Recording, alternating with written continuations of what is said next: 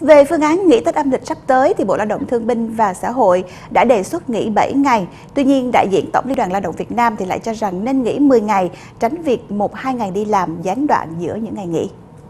Ông Mai Đức Chính, Phó Chủ tịch Tổng Liên đoàn Lao động Việt Nam cho rằng nếu lựa chọn phương án nghỉ Tết âm lịch kéo dài 7 ngày, sau đó làm việc 1-2 ngày rồi lại nghỉ cuối tuần sẽ ảnh hưởng đến năng suất lao động. Quan trọng là sau dịp nghỉ lễ, người lao động trở lại làm việc nghiêm túc, không dành cả một hai ngày đầu đi làm chỉ để giúp tụng. Bên cạnh đó, thực tế người lao động ở xa cũng sẽ có kế hoạch xin nghỉ phép từ trước. Nếu doanh nghiệp có kế hoạch sản xuất tốt, thì việc kéo dài ngày nghỉ cũng sẽ không quá ảnh hưởng đến doanh nghiệp. Đồng thời, nghỉ Tết 10 ngày cũng có thể giúp kích cầu tiêu dùng, du lịch, đồng thời giảm tạo áp lực ủng tắc giao thông. Trước đó, trong dự thảo phương án nghỉ Tết lấy ý kiến các bộ ngành, Bộ Lao động Thương binh và Xã hội đề xuất phương án nghỉ 7 ngày vì nghỉ dài ảnh hưởng đến sản xuất kinh doanh.